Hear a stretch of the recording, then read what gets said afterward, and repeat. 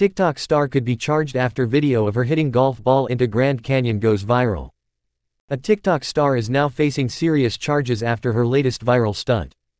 Charges against Katie Sigmond, 19, are pending following a video of her hitting a golf ball into the Grand Canyon, the national park said in a statement alongside a screen grab of the clip on Facebook. Do we really need to say, don't hit golf balls into the Grand Canyon, its statement began. It explained that on October 26, a TikToker shared a video, showing her hitting a golf ball and throwing a golf club into the canyon near Mather Point. It added that the community helped confirm the social media celebrity's identity. The next day, Grand Canyon law enforcement found the TikTok star, the park said. Charges in a court appearance for the individual are pending. Throwing objects over the rim of the canyon is not only illegal but can also endanger hikers and wildlife who may be below, it added.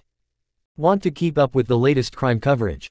Sign up for People's free true crime newsletter for breaking crime news, ongoing trial coverage and details of intriguing unsolved cases.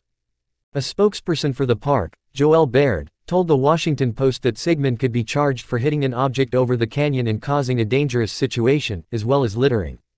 It's not clear if Sigmond has a lawyer to comment on her behalf. Sigmond did not immediately respond to people's request for comment. The national park did not identify Sigmond as the TikToker, however, a screen recording shared on Reddit shows the full video being posted from her account. In the clip, Sigmond, who has 6.9 million followers on TikTok and more than 2 million on Instagram, is seen hitting the golf ball before being shocked by her swing. How did that happen? Sigmond, who is known for sharing videos of her golf swings as well as pranks, wrote over the video. Baird also confirmed Sigmond's identity to the Washington Post, noting that she could get up to six months in jail and be ordered to pay $1,000 in fines. The date of her upcoming court appearance was not provided.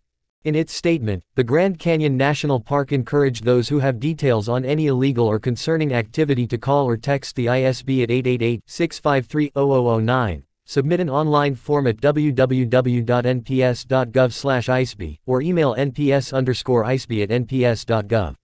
The Grand Canyon National Park did not immediately respond to people's request for comment.